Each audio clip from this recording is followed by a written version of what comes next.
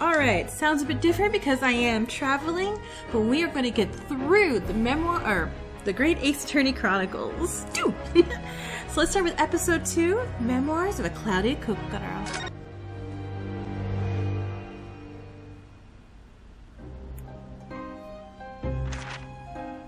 It was a ghastly tale of a winter's night. One of an invisible killer and a crime perpetrated on the pavement along Briar Road. As the victim lay at death's door, the mystery of just who had stabbed the young lady from behind had been resolved. But no sooner had my friend saved that Eastern Exchange student from his harrowing plight than in the dim, flickering shadows of gaslight did a second bizarre crime rend the stillness of that very night. I dare say most can still recall the sensational headlines of the day. Haunted apartment of death, the condemned criminal's curse, the dread demon of coal gas. Yet, though the great detective had at once discerned the truth upon his arrival at the scene. It only proved to be the overture that announced the rising of the curtain on a most tragic play.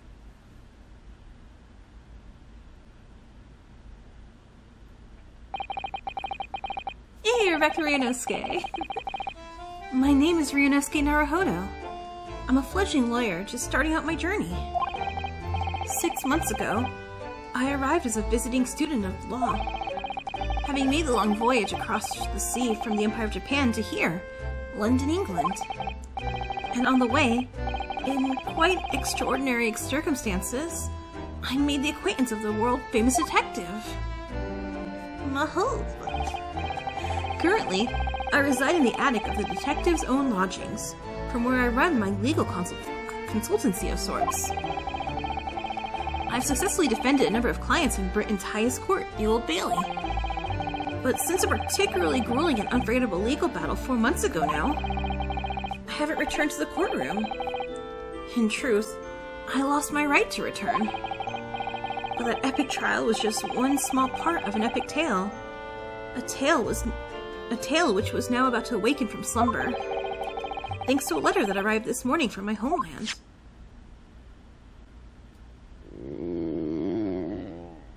You hungry? A delicious smell wafting up the stairs. It must nearly be time for breakfast. I better go down to Mr. Sholmes' suite and say good morning to the great detective and his flatmate.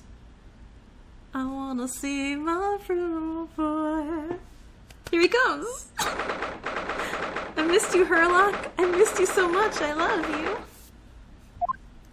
And you too, Iris. You're adorable. Ah, oh, Runo, good. I was just about to call up to you. The bacon's ready. Well, good morning, Iris. It smells delicious as usual. Before we eat, though, I have some news. I have surprises my- Hi. Shh, not another word, Naruhodo. Looks so good. This could just be the abstruse thing for my pre-breakfast stagnation-repelling mental stimulation, my dear fellow.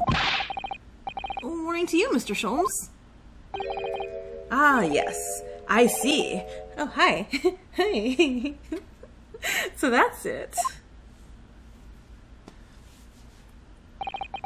The truth is as clear to me as day. My faculties of observation have revealed it again. Um, what are you talking about? You, Mr. Naruhodo. You have this very morning met with a surprise. Well, is that not the case? Well, um, really, my dear fellow, it barely warrants explanation. Firstly, your hair is particularly unkempt, somewhat reminiscent of a bird's nest. Secondly, you have neglected to fasten the third button on your jacket. Clearly, when considered together, these two facts point to you having been flustered this morning. Um, can I talk now? But of course, of course. Though, I don't look for admiration, you understand. My hair always looks like this. It's been this way since I first met you. Oh, it has.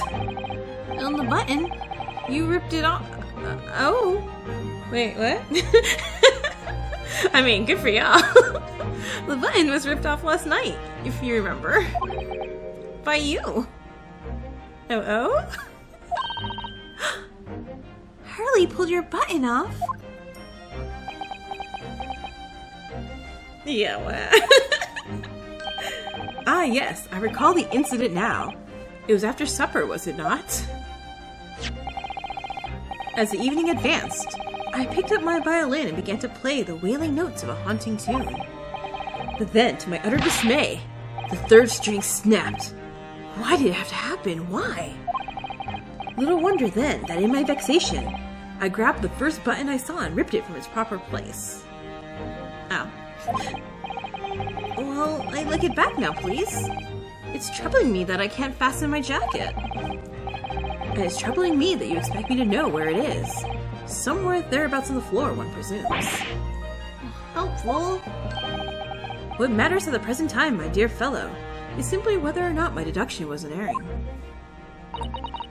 But Hurley, Aruno said it when he came in, didn't he? I had a surprise this morning.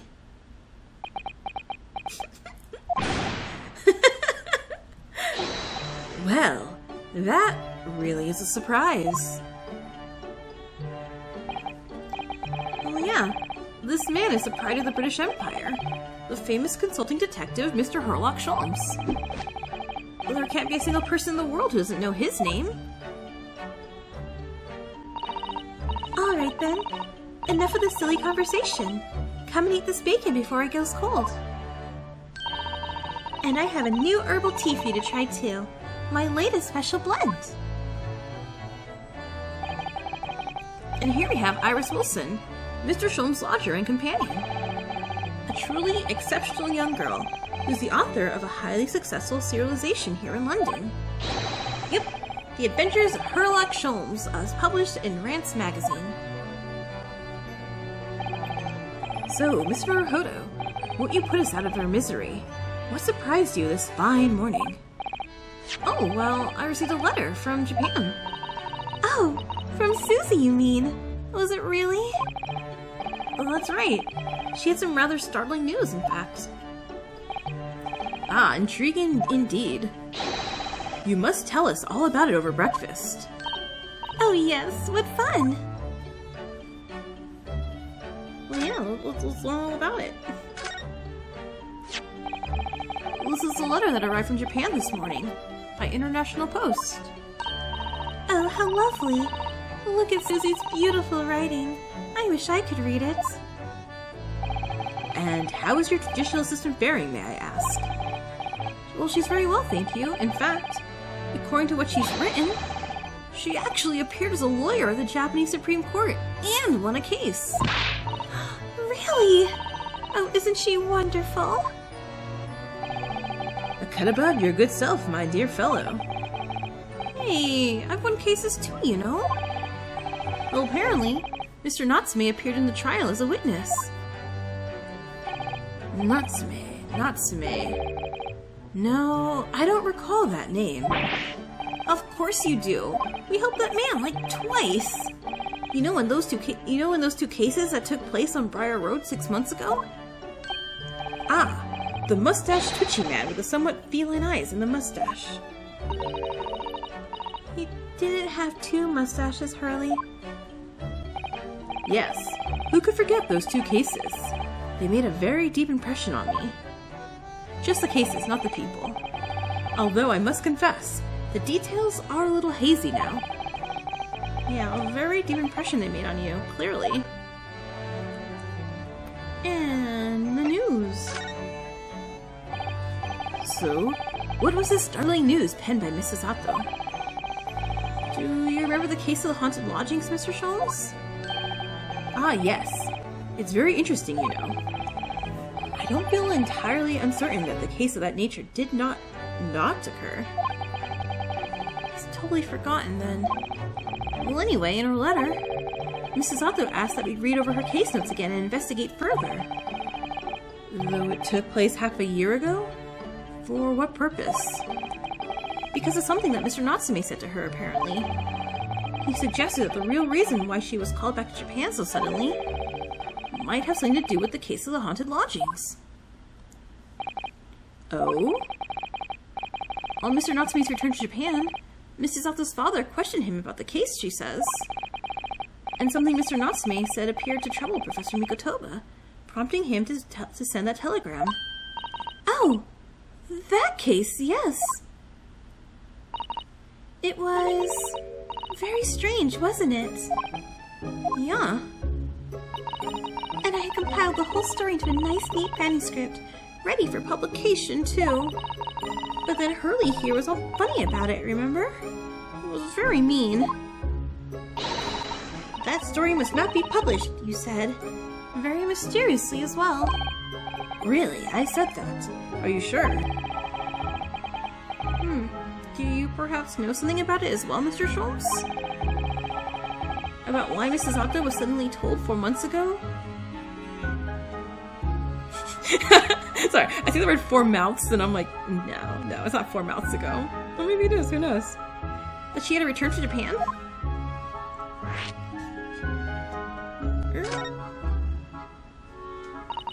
It's been four months now since we waved Susie off at Dover. It was such a shock, wasn't it? The way she just suddenly announced that she had to go back to Japan? Indeed it was. Due to a telegram she received from her homeland, I believe. Yeah, that's right. Telling her to return urgently. Yes, because her father had passed away. No, no, no, no, no. It just said he was suffering from a high fever, the cause of which was unknown. He's he's not dead.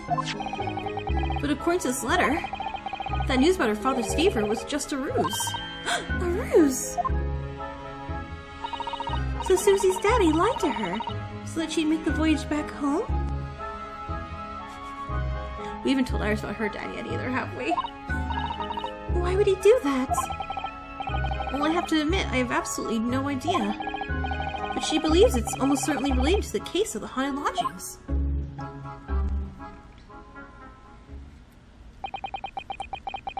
Summoning her back to Japan so suddenly like that. I wonder what Miss Susato's father's hiding. Hmm, Hurley, you know what it's all about? He got dressed already. He's like, no, bye. Hmm, ah, well, who can say? What? But, but you said... Please, I have engagements, my dear fellow. My calendar is quite surprisingly full today. An astringent analysis of the matter would be excessive, I feel, even if I were quite at leisure. So, man look forward to my absence, won't you, Iris?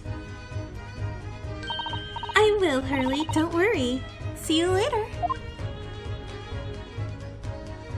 Bye, love you. He scuttled off rather quickly there. I think perhaps Professor Mikotoba isn't the only person hiding something here. Soseki-san was involved in two cases, but only one of them was forbidden from being published. By of all people, Mr. Sholmes. I refuse to believe he's a bad guy. There's no way. He's hiding like an undercover double agent investigation where he's investigating, um... It's gotta be that guy with the birds, right? Who's he? I forgot what his name was. Sorry, it was like forever ago. Like, we had to meet him in, uh, this one room, and he like spread his arms out, and like doves came flying out. He was like really hyped, they're important, and we never saw him again. Like he's sus. He's so sus. He tippity top sus. I found them at last. Iris, are are they? The notes about the case. That's right. Susie and I compiled them together. The case of the haunted lodgings. Do you want to read them, Runo? Sure. I mean, absolutely. Thank you, Iris. I have no idea what secrets could still be hiding in the shadows of this case. But perhaps if I read them over the notes again, something might come to light. That's the spirit.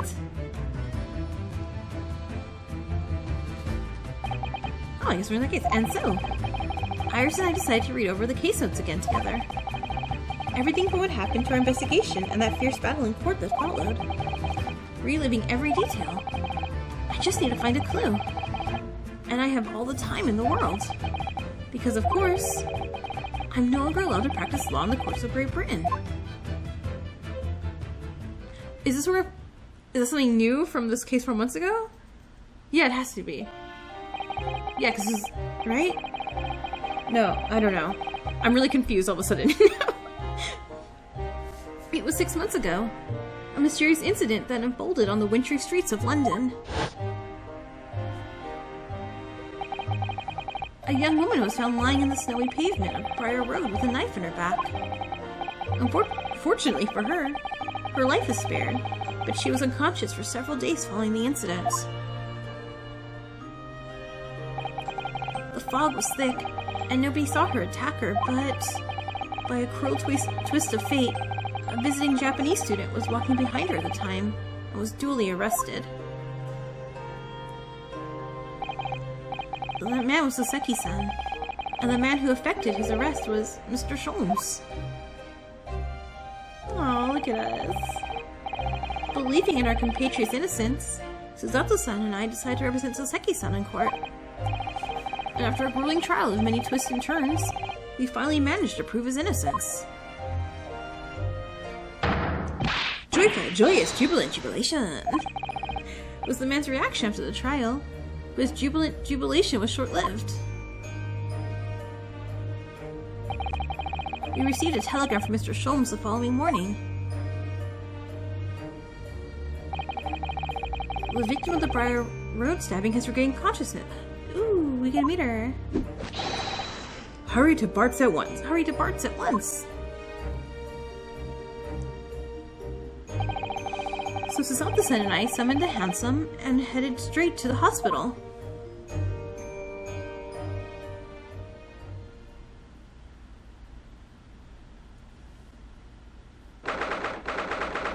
Hey!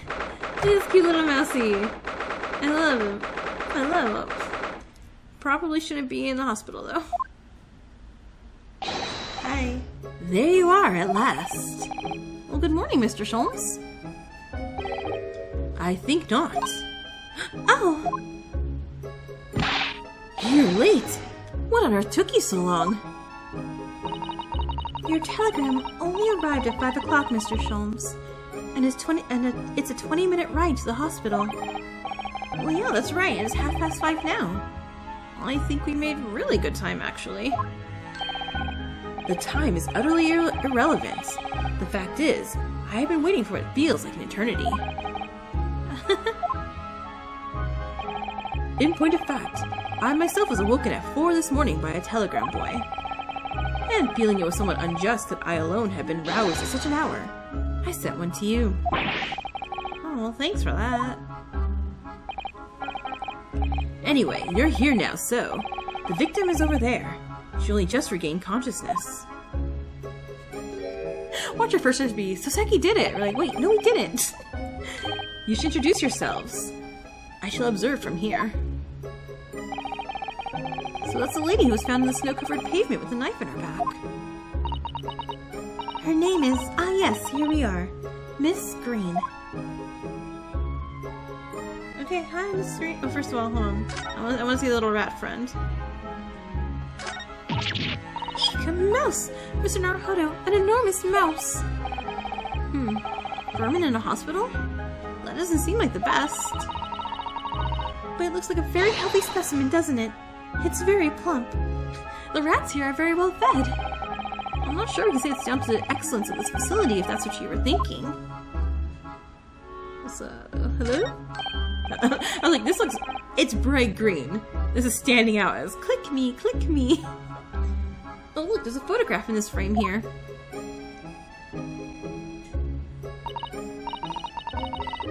Oh, yes, it's a picture of a young gentleman. Well, he looks be about the same age as Miss Green, I would say. Perhaps a young woman's special someone, do you think? My, my, Mr. Naruhodo. I didn't know you had a sense for matters of the heart. Well, not the least. I sincerely said the first thing I thought of. Okay, we'll talk to you. How's it going? um, good morning.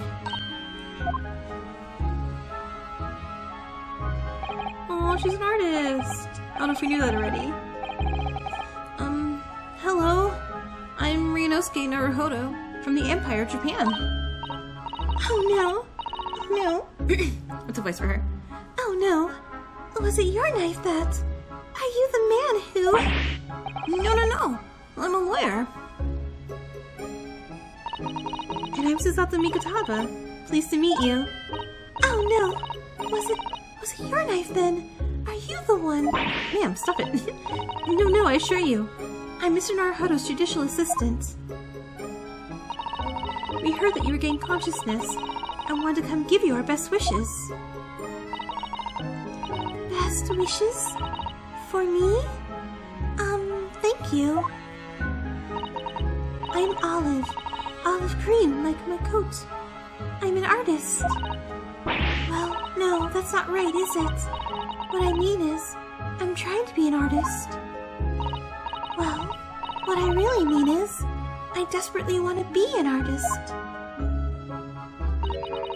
But the truth is, I don't have any talent. I know I don't. Well, that's the thing about being an artist. You can gather some skill. it's no wonder I was stabbed in the back. Well, it's related, actually. Gosh, this young woman seems to bend over backwards to put herself down. Seeing as we're here, we should ask her about what happened from her perspective, I suppose. So what happened? To suddenly be struck in the back by a blade as you were walking along the pavement. What a terrible experience you had, Miss Green. It was so cold that day, and the fog was so thick, I couldn't see a thing. That was four days ago now, I think. Is that right? Yes, that's right. I'm afraid you've been comatose all the time. But the case has been solved, hasn't it? While I've been here in the hospital, I mean. Indeed it has, my dear madam. Spectacularly by none other than I, Herlock Sholmes. Mr. Sholmes, as you well know, it was Mr. Naruhodo's hard-working court that solved the case. Are you yet to hear what happened, Miss Green? Yes, I'm afraid so. A gentleman from the police force is supposed to be coming to fill me in shortly. Oh, I see. Me coming around seems to have made everyone frantically busy. I'm so sorry. I should have never regained consciousness. It was so selfish of me. No. We're also relieved that you're on the mend, Miss Green. Really, we are. Well, that kind of attitude. Maybe her surname should be Blue, not Green. But I'm just... Alright, let's learn about you. So, you're an artist, are you, Miss Green? Oh no, I couldn't possibly claim that. I'm a fledgling artist at best. I mean, I'm a student of art, really, at the Thorndyke Academy of Fine Arts. Oh my, an Academy of Fine Arts. Great Britain is such a wonderful country. Tell me, Miss Green, do you live hereabouts? Oh no, actually. I don't deserve it. But I have a little flat on Brixton Road. I see. How very interesting. Oh no, is it? Brixton is some ten stops away on the underground from here. And Thorndyke Academy is a mere three-minute walk from Brixton Town Center.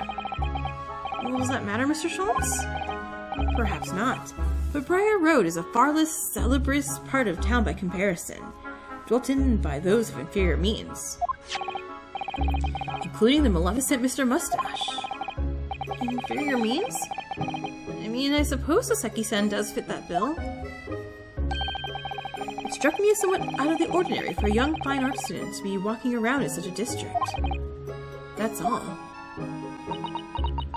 What you hiding, Olive? Huh? What's this? You still suddenly clammed up. Mr. Sholmes, you should be ashamed of yourself, prying into a young maiden's private affairs. Dear me, do forgive me. Um, if you don't mind, I'm being discharged shortly, so I need to pack up my things. Well, yeah, of course. We won't keep you. Thank you so much, Miss Green. Hi, hi. Is there a Mr. Narrow Fodder here? Mr. Narrow Fodder. Narrow fodder? Well, um, if you're looking for Naruhodo, the lawyer, that's me, but... Ah, Mr. Narrow Fodder. Good, good, good. This is for you. It's a message from Mr. Saucy Nuts... Nuts Mr. Saucy Nutsmeg. Oh. oh, Mr. Nutsmeg sent a message for me? But why would a policeman be delivering a message from Mr. Natsume? Exactly. What exactly is going on here? What's a Co- Scotland Yard constable doing playing delivery boy at this time of the morning? Ah, what are you waiting for? Let me see that. Oh. Well, this is most unexpected. Was something wrong, Mr. Sholmes? Is something wrong, Mr. Sholmes, he says. Have you not seen this note that I grabbed from your hand before you read? No, how could I have? It would seem that London's criminals have no intention of letting the great detective rest. A new case calls. A case of murder, no less. We must depart at once. murder? Murder? Call the cab. Time is of the essence. But the trouble is, we've yet to read Mr. Natsume's note. I was thinking we ought to pay him a visit in his lodgings once we did.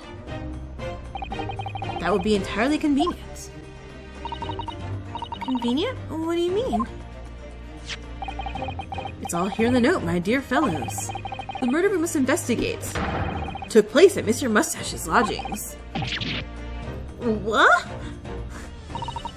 I'll hold Fiacre at once. Why do I can't why can't I pronounce any of these vehicle names?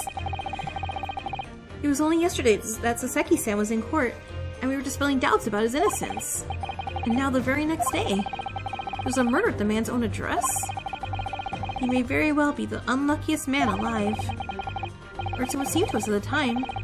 But we were soon to discover something because I accidentally clicked. What were we discover? Uh-uh. Something, I guess.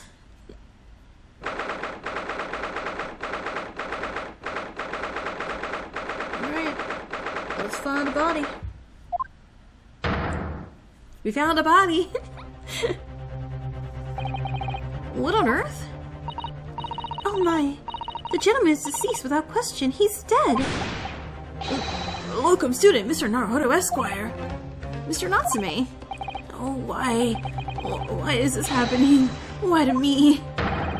I've only just got out of court yesterday. I was finally home after two days of misery. Well, I mean, don't you have, like, an alibi? Being, like, you know, the Supreme Court? That's a very good alibi, I feel. and then I wake up the next day to this. No early bird should catch a worm like this. Woeful worm without wiggle. I see you're in high spirits again this, mor this morning, Mr. Mustache. Not the horrible Herlock Sholmes. Shoo, shove off. Show yourself the door. I never invited you. Mr. Sholmes came here with us. I'm quite sure he'll be able to help you, Mr. Natsume. I am entirely at your disposal, Mr. Mustache. What can I do for you?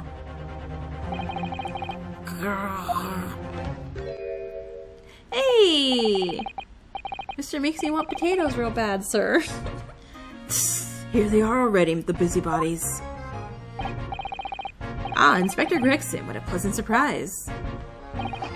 Pleasant, is it? Gives me heartburn every time I see your face at a crime scene, Sholmes. I deduce, Inspector, that your heartburn is a result of your excessive consumption of fried food.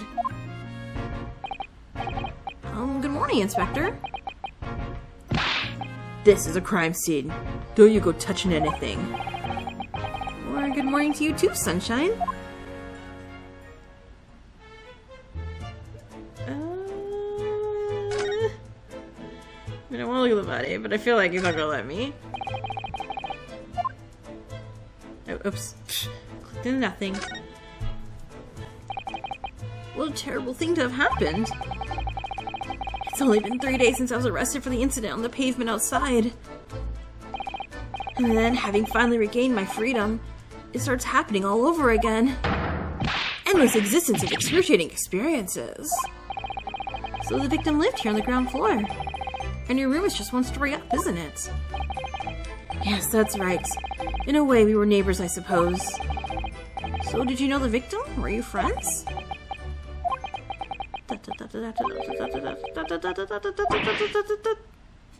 Yes.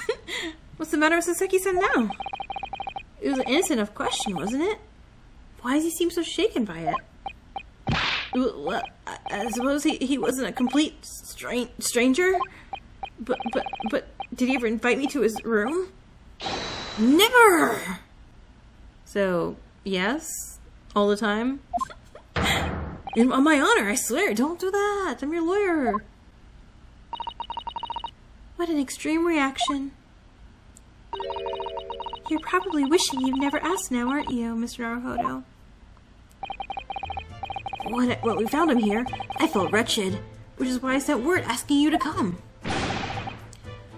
Through that inspector over there! Okay, let's talk to that inspector over there! so, Inspector, what was the victim's name? Who was he? Mr. William, Sh not Shakespeare, Mr. William Shamspear. He was a lodger here. As you can probably tell, he was an actor. A bit of a dead loss as it happens, or just dead. Mr. Shamspear. It was the landlord, old Mr. Garideb, and the other lodger, Mr. Natsume, who found him. The fellow didn't rise at his usual hour, so Garideb got worried and kicked the door down. Did he? Okay. But, yeah, I was like, but doesn't Mr. Garideb have a bad leg? Ah, yeah, right. You, you're right there. It was that jittery Japanese hunchback over there who did actually did. Oh no! Don't call him that. That's me. Don't don't call him names. Oh, really? So Zeki said. The victim was pretty hard up, it seems. Even done some time inside for petty crimes. He had no money, no place to go, no friends. His only acquaintances were the people in this house. Miserable life and a miserable end to it. So, so what exactly is Mr. Natsume still doing here? He's not involved in the investigation, so shouldn't she have sent him away from the crime scene? Well, I'm not saying it's because that fellow looks odd or anything, or that he acts suspicious. But I thought it'd be prudent to take a statement from the culprit- I mean, cohabiter. He thinks he did it. You nearly said culprit there, didn't you? oh dear. Mr. Natsume appears to be under suspicion again. Well, yeah, it certainly seems that way. He does just come across as an odd fellow, doesn't he? Poor man. How unfortunate. Anyway, I can't say much until the coroner gets here. But I don't think the fellow's been a goner that long. The body's still warm. Even if the inspector would allow it, I don't think I could bring myself such a dead body. I mean, can we poke at it? like, darling, what you doing? What you doing, honey? um, Mr. Sholmes, what are you doing? Ha!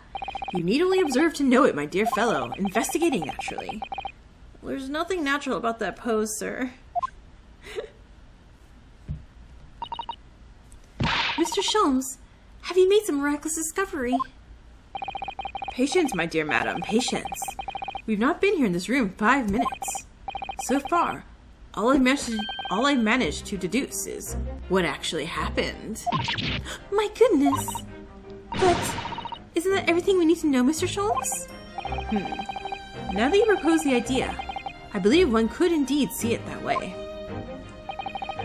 At the present time, I have managed to draw two incontrovertible conclusions. The first, that there was a physical struggle here last night, in which the victim fought for his life. He says as this man has clearly, apparently been drinking something out of a cup and dry died.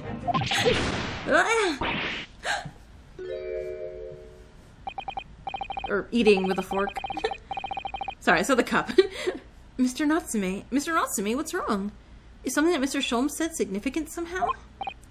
N- no, don't mind me. Forget I was here. And my second conclusion is that there was a poison lingering in the air here last night that passed the victim's lips. Nonsense! he said innocently. Alright, Mr. Natsume, why are you reacting so extremely to Mr. Sholmes' deductions?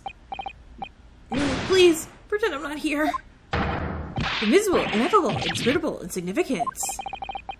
Impossible to ignore. You must tell us everything, Mr. Sholmes. Spare no detail.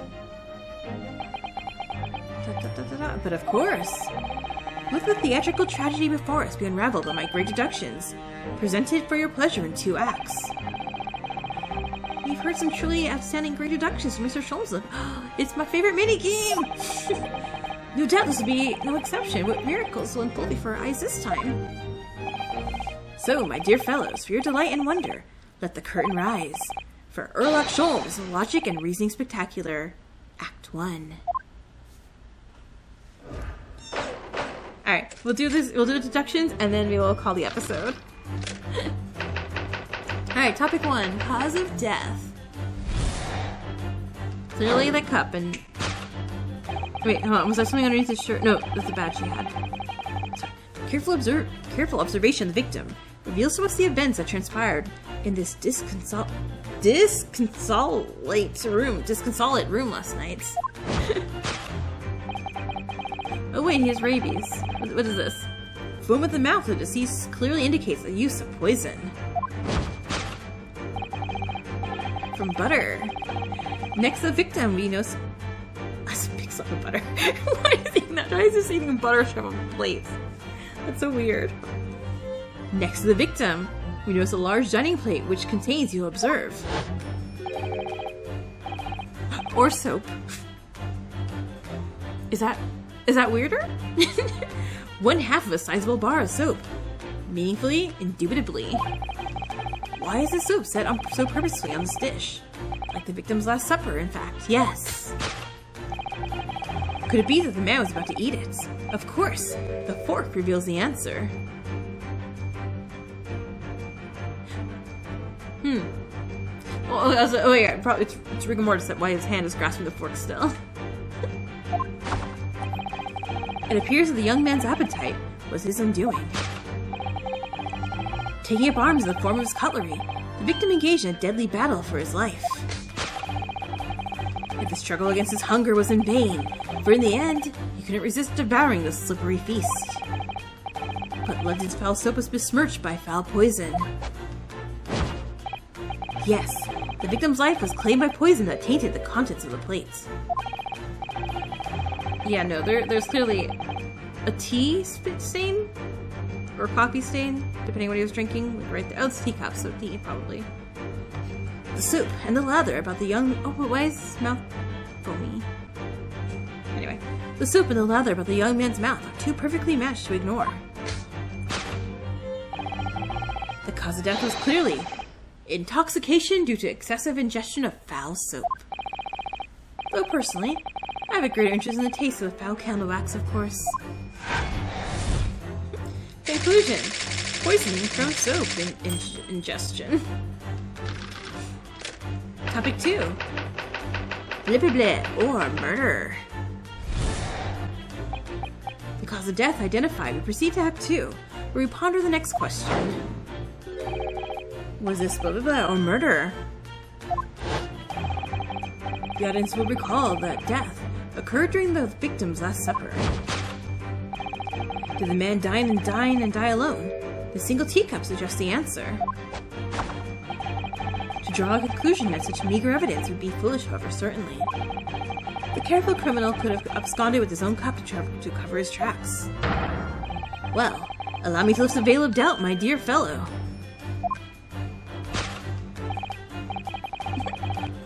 Indeed. What reveals the answer, of course, is the broken lock. But forced open now, at the time of the incident, this door was locked. And the sole key was in the victim's pocket. In other words, when the victim consumed the poison, he must have been alone.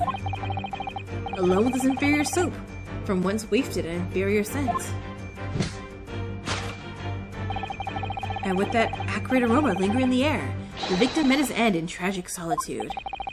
He could take comfort only in the fact that his soul was well cleansed on the way to the hereafter. Sorry. no possible perpetrator present. I like that we're we're going to have to make it seem put out evidence that it's our client who is there. This concludes the final act of Herlock Sholmes' great deduction. It's like my man's way too nervous. Not my man, but the man is way too nervous to be like, nah, wasn't here.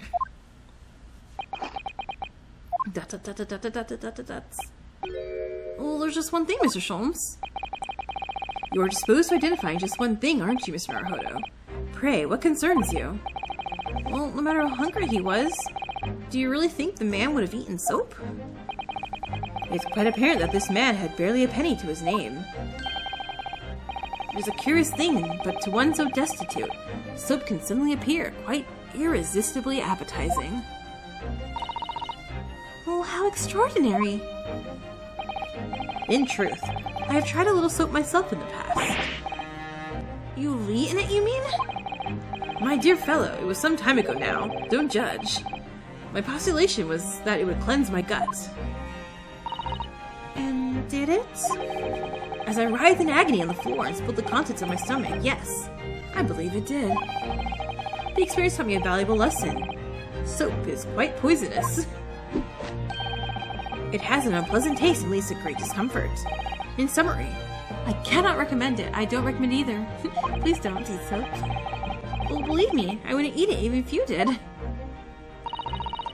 There's something that troubles me as well, actually. Oh? Oh, what's that? It's Mr. Natsume. I couldn't help noticing him shuddering and quivering out of the corner of my eye.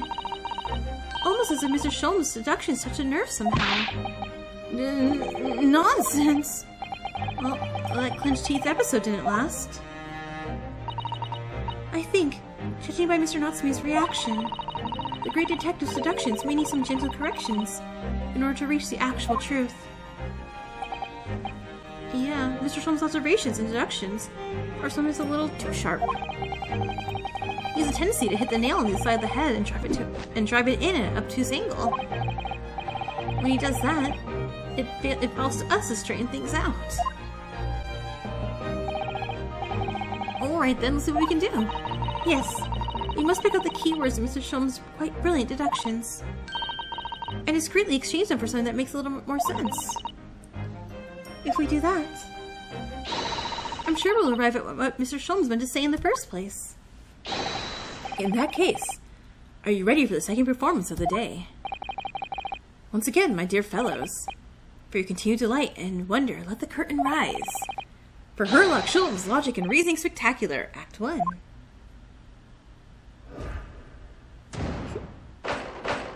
Course correction. Hold it, Mr. Sholmes.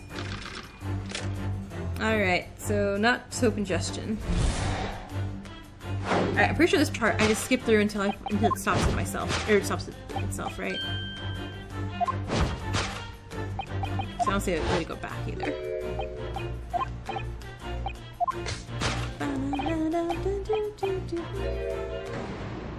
Yeah, okay, cool, cool, cool, cool. Well, well, you can't deny that a fork implies a man was eating something or about to eat something. Yes, that's true. Oh, if I was, if I were to decide to eat some soap, I should prefer to use a fork than attempt it with chopsticks. well, and of course, only half a bar of the soap is left on the plate. But might not there be some other explanation? Something material that proves whether or not the man really ate some soap. Let's check his mouth. Sir? Sir, your, your mouth. Oh, wait, no, no, no, I see it. Hold on. Right there. Look, there's more soap on the floor here. Mr. Shamster must have really loved this stuff. Let's not jump to conclusions, Mr. Naruhodo. Look closely at the soap. Do you see that would fit together perfectly with the half bar on the table? Oh, what the, How can that be? I think that they're two halves of the same bar that broke apart. So we didn't. Wait, did I not? Oh, present, present, right? Yeah, present. Take that!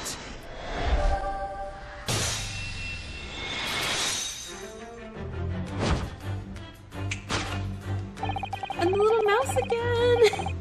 could it be? Could, well, could it be that the man was about to eat it? Of course. The other piece of soap reveals the answer. It being the other half of the soap on the table. In short, the victim was not eating soap at all. That'd be silly. But it's obvious, really, for no, for no depths of hunger could drive any man to attempt to eat soap. Even I, with my unquenchable thirst for practical knowledge, took only a single bite.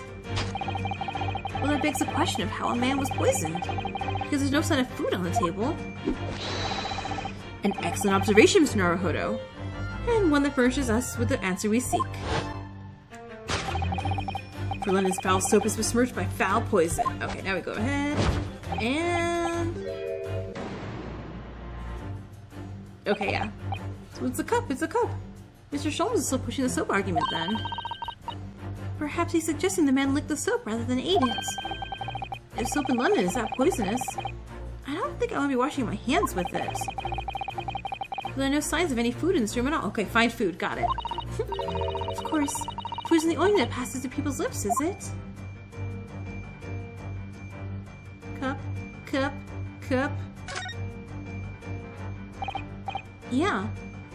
Western vessel for serving infusions of dried tea leaves. It's a teacup, Mr. Naruhodo, as you well know. Stop putting on airs. And it's empty. Ah, so we reestablished that the victim wasn't eating soap when he died. However, there's significant evidence to suggest he was drinking tea. My thoughts exactly. So, tea, yes?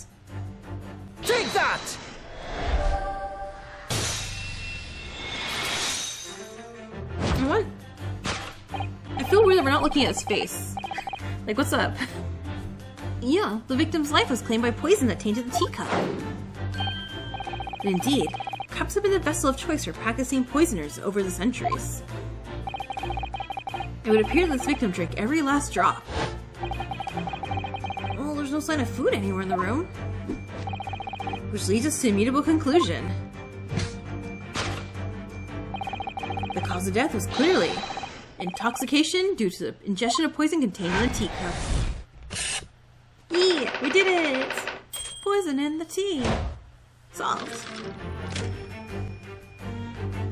I want like, not like a gritty version, like a this amount of gritty version of like Blue's Clues. It'd be fun. Alright, next question. Was it blah blah blah or murder? Soseki-san? Soseki-san, was it blah blah blah? Were you there when it was blah blah blah?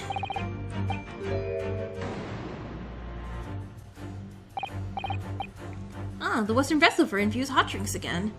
It's already heavy. It's already featured heavily in our deduction so far. Yes, we can imagine that shortly before his death, Mr. Shamster was having a drink of tea. There'd be nothing remarkable about that, but what troubles me is Mr. Natsume's reaction when he heard Mr. Sholmes suggest it. There's more to this deduction than it seems. We must closely examine the scene of the crime again for some more clues. Nope, I see it. I see it. I see it. But also, no, that's not the important of it. You can see his face. Okay. I was wondering what they were hiding it from us. But anyway, cup two. Bruiser. Take that!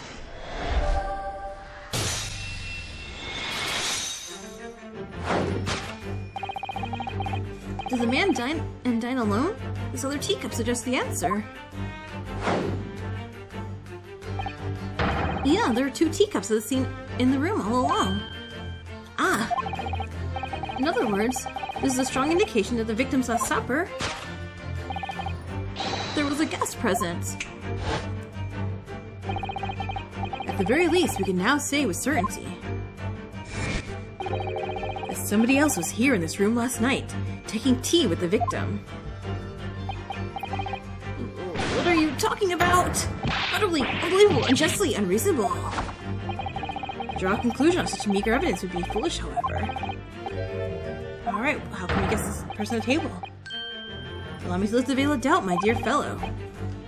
Do you mean to say you You know who exactly was in this room at the time of the victim's death? Is it the shaky man over there who's really questionable? Is it the wine? Soseki-san, if that wine says, Hey, from Soseki-san, you're have an issue. well, I'm not sure like where the seduction is going now. I'm afraid it's too late to go back to the halcyon days of eating too much soap. But the identity of the guest who was here last night when the victim passed away is... is something I have a very bad feeling about. Well, you can try to ignore your feelings, but we cannot ignore the truth, Mr. Naruhodo. No, I suppose not. Time to look around again.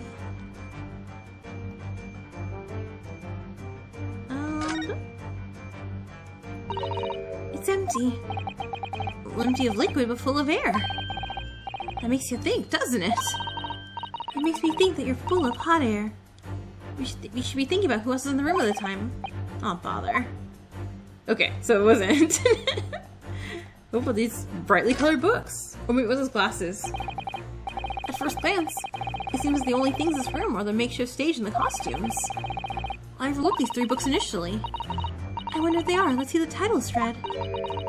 The picture of Monsieur Glico? Canterbury Yearnings and A Meal for Gobarao.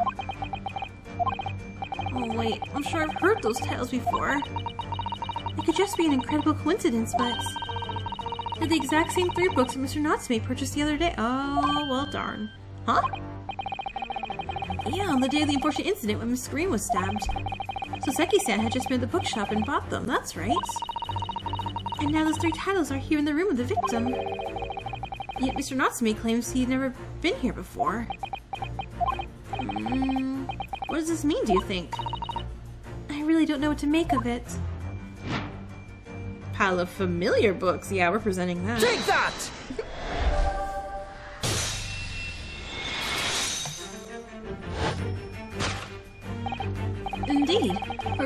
Answer, of course, is the pile of familiar books. Quite so. It's no mere coincidence that these three titles are here in this room. It's the link to the truth.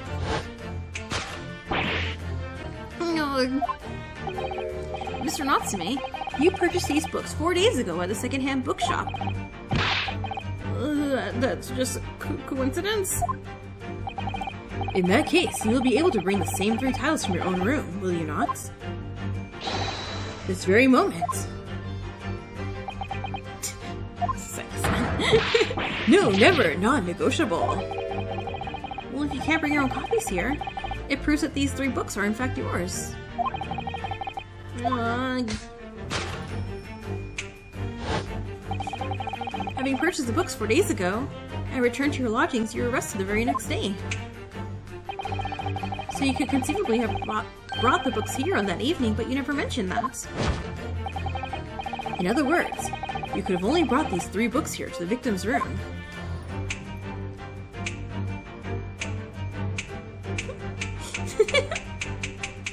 oh, I really like that. Last night, having returned to your lodgings, after the trial concluded at the Old Bailey.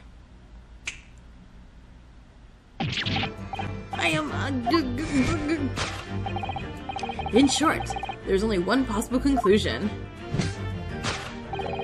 The victim died here in this room last night as a result of poisoning. And that same night, the victim had a visitor. And that visitor...